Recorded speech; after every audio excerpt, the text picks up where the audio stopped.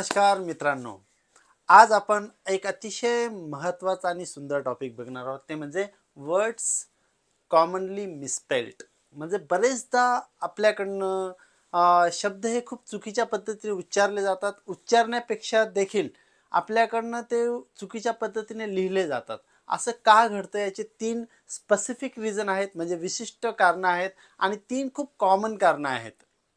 आणि त्याच्यावरती एकच एक सोल्युशन आहे ते आपण बघूयात या व्हिडिओमध्ये. आणि या व्हिडिओची आपण सुरुवात करतोय की कोणते असे शब्द आहेत जे कॉमनली मिसपेल्ट केले जातात. आणि यासाठी आता आपण सुरुवात करूया यापासून की आपल्याला हे कशा पद्धतीने बघता येऊ शकणार आहे ते.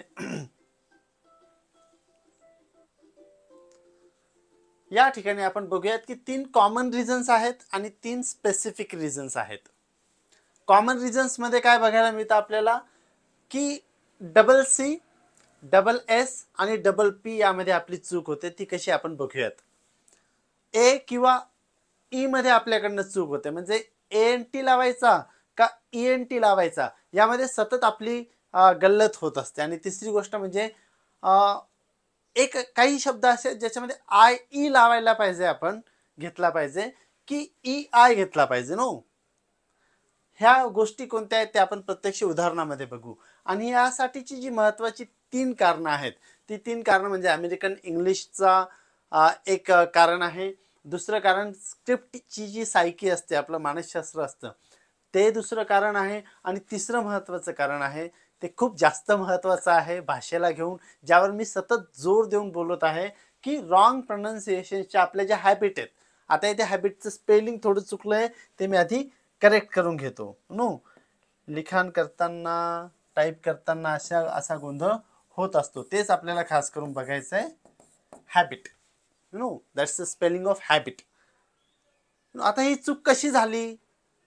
तर मी ज्यावेळी टायपिंग करत होतो त्यावेळी कदाचित माझे हॅबिट नो असं पण असं झालेलं नाही मुळात. ते अशा पद्धतीने झालं आहे की मी सहजपणे टाईप करत असताना माझ्याकडनं ती चूक झाली आणि मग ती पी पी टीची स्लाईड बनवताना मी पुढे गेलो आणि ते आत्ता माझ्या लक्षात आलं. नो पटकन लक्षात आलं ते. त्यातल्या त्यात let us go for the next slide and that is की कॉन्टेंट काय असणार याचा? You know apparent believe entrepreneur license आणि प्रिव्हिलेज असे काही शब्द आहेत. आणखी काही शब्द आहेत ते बघूयात आपण की एक्सक्यूज मी आपण आधी हे बघूया. की यामध्ये आपण पाच शब्द घेतले आहेत ओके तर पाच शब्दांमध्ये एक एक गोष्ट आपण बघूया की ह्या जे ॲपरंट आहे या ॲपरंटमध्ये आपल्याला आर ई एन टी घ्यायचा का आर ए एन टी घ्यायचा? कारण की आपण म्हण बोलताना कसं म्हणतो ॲपरंट रंट रंट असं म्हणतो. आणि आपल्याला जनरली सवय रंटच्या बाबतीत काय एकतर ए एन टी घ्यायचा किंवा यू एन टी घ्यायचा. पण ई एन टीला आपण रेंट म्हणतो नो म्हणजे आपल्या because we are the non native speakers त्यामुळे ई एन टी बिलीफच्या बाबतीत देखील असाच गोंधळ आहे. बिलीफमध्ये फक्त सी आय घ्यायचा. ए आय घेतो नो रिसीव्हमध्ये फॉर एक्झाम्पल रिसीव्ह रिसीव्हमध्ये आपण काय करतो? ई आणि त्याच्यानंतर आय घेतो. परंतु मॅक्झिमम जे शब्द आहेत त्याच्यामध्ये आय आधी येतो आणि मग ई येत असतो. तसंच ऑन्टरप्रिनर ऑन्टरप्रिनर हा प्रोनाऊन्सिएशनचा मॅटर आहे. त्याला आपण एंटरप्रिनर म्हणतो. कोणी त्याला इंटरप्रिनर म्हणतं नो मग दॅट इज ऑन्टरप्रिनर ऑन्टरप्रिनर असा शब्द आहे तो लायसेन्स आणि प्रिव्हिलेज प्रिव्हिलेजमध्ये काय गोंधळ होतो? लायसेन्समध्ये काय आहे? की एस ई म्हणजे सी घ्यायचा का एस घ्यायचा? अशा प्रकारचा एक तो गोंधळ आहे. तसं प्रिव्हिलेजमध्ये देखील काय? नॉलेज नॉलेज आपल्याला हा शब्द माहिती आहे. जनरली हा खूप कॉमन शब्द आहे कुठला? नॉलेज नॉलेज हा शब्द कॉमन असल्यामुळे काय होतं? L E D G E असं आहे. म्हणून आपल्याला काय वाटतं की आपण प्रिव्हिलेजमध्ये देखील L E D G E घेतला पाहिजे. तर ह्या चुका सुधारण्यासाठी आपल्याला काय करायला लागणार आहे? ते आपण याच्या शेवटी बघूयात नो ॲपरंट तर ॲपरंट काय? मिसपेल्ड फॉर्म्स काय त्याचे? हे चार पाच मिसपेल्ड फॉर्म ॲपरंट नो आपण double P A R A N T बघा इथे हा आर ए एन टी हा एक मिसपेल्ड फॉर्म आहे. राईट? त्याच्यानंतर डबल पीच्या ऐवजी आपण इथे एकच पी घेतला. हा पण एक मिसपेल्ड फॉर्मचा प्रकार आहे. त्याच्यानंतर डबल पी पण घेतला आपण आणि डबल आर पण घेतला. हा पण एक मिसपेल्डचा फॉर्म आहे. आणि आपण काय केलं? पी डबल पी न घेता आर डबल डबल आर घेतला आपण. डबल पी न घेता आपण काय घेतलं? डबल आर घेतला. So these are the things आणि याचं सोल्युशन काय आहे मग? ते आपण व्हिडिओच्या शेवटी बघणार आहोत. त्यामुळे लगेच व्हिडिओ सोडण्याची घाई करू नका. Okay keep watching till the end of it Let us see की there इज often confusion about whether to use one or two P and R letters as well as whether the word ends in E N T or R R N T no म्हणजे double P double R E N T or A N T अशा प्रकारचं कन्फ्युशन आपल्यामध्ये आहे. ते कन्फ्युशन कसं काढायचं? एका सेकंदात काढलं जाईल. पण तोवर आपल्याला हा व्हिडिओ पूर्ण बघावाच लागणार आहे. त्याला पर्याय नाही. Let us see the another word no पुढचा शब्द आपण बघूयात.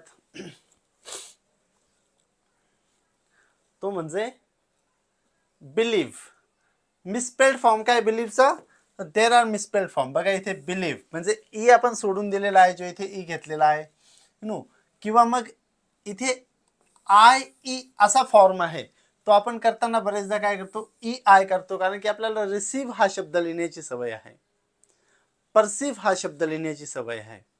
Right so there is a confusion between this whether I should take I E or E I or whether I should drop that no leave आता हा leave शब्द आपल्याला सारखं लिहित असतो आपण. तो देखील एक गोंधळाचा भाग आपला असू शकतो. आणि म्हणून आपल्याकडनं असं अशी चूक होऊन जाते. So this is what call mnemonic device म्हणतात. त्याला काय म्हणतात? Mnemonic device I before E except after C mnemonic डिव्हाइसमध्ये काय आहे? की जर अशा प्रकारचा काही शब्द येत असेल तर आय हा आधी घेतला जातो आणि ई नंतर घेतला जातो. पण फक्त सी जर शब्द असेल म्हणजे या आय ईच्या e आधी जर सी शब्द असेल तर e, ई आय असा शब्द घेतला जातो. हे खूप सोपं आहे मुळात no so that is call the mnemonic device as such पुढचा शब्द घेऊ आपण पटपट कारण की आता तुम्हाला लक्षात यायला लागेल की हो हे खरंच खूप सोपं आहे मुळात. Entrepreneur no misspelled as entrepreneur entrepreneur entrepreneur no म्हणजे एक आपण ह्या स्पेलिंगकडे नीट बघत नाही. खास करून अशा स्पेलिंगच्या बाबतीतच आपला गोंधळ होण्याची शक्यता असते. तो गोंधळ कसा टाळायचा ते बघूयात आपण immediately after this some words license लायसेन्समध्ये पण तेच आहे की C E N C E असा घ्यायचा की S E N C E असा घ्यायचा की S E N S E घ्यायचा no. So you can easily see इथे काय केलेलं आहे? सी ई एन आणि एसच्या ऐवजी आपण इथे सी घेतला आहे राईट एल आय इथे सीच्या ऐवजी इथे एस घेतलेला आहे. करेक्ट इथे पुन्हा या सीच्या ऐवजी इथे एस घेतलेला आहे. यु नो म्हणजे या प्रकारचा गोंधळ आपण करत असतो. Actual spelling is L I C E N S E license no let us move for the next and that next word is privilege मी आत्ताच सांगितलं प्रिव्हिलेजला काय केलं आपण? जनरली आपण ह्या फॉर्मला फॉलो करतो. का फॉलो करतो? कारण की आपल्या डोक्यामध्ये L E D G E edge edge म्हणून लिहिताना देखील आपण एज कसा लिहितो? एज राईट नॉलेज पण कसं आपण लिहितो? Knowledge so these are what we generally do when we pronounce or when we write or when we read as well read करताना देखील या प्रकारच्या चुका होतात आपल्याकडनं. Next is the word these are some words no separate no separate तर separate no आपल्याला separate मग इथे काय केलं आहे A R A T E परंतु असं नव्हतं. इथे काय झालेलं आहे? E R A T E असं झालेलं आपल्याला बघायला. Excuse me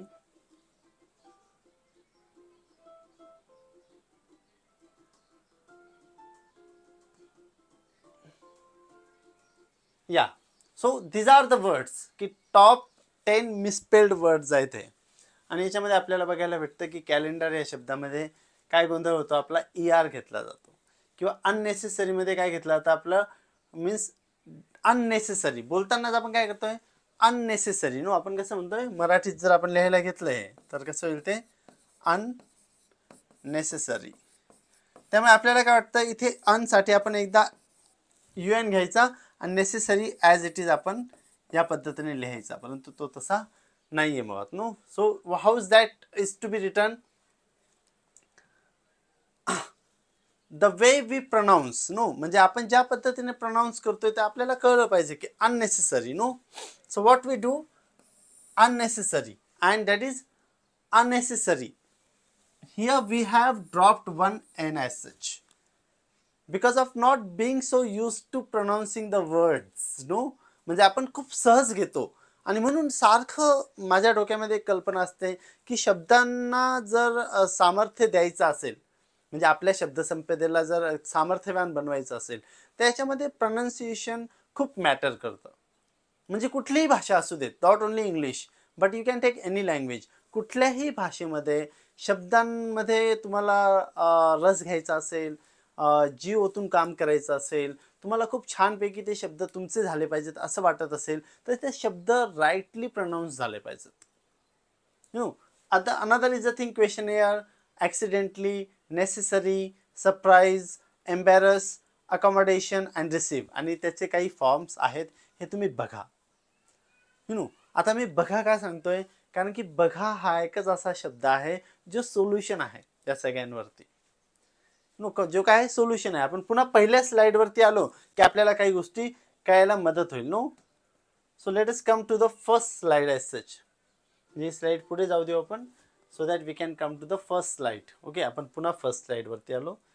This is the actual first slide of ours okay की इथे स्पेसिफिक रिझन्समध्ये मी सांगत होतो की अमेरिकन इंग्लिशचा प्रभाव आहे. नो म्हणून आपण काय करतो? बरेचदा असं होऊन जातं आपल्याकडनं फेवर हा फेवर करेक्ट आहे.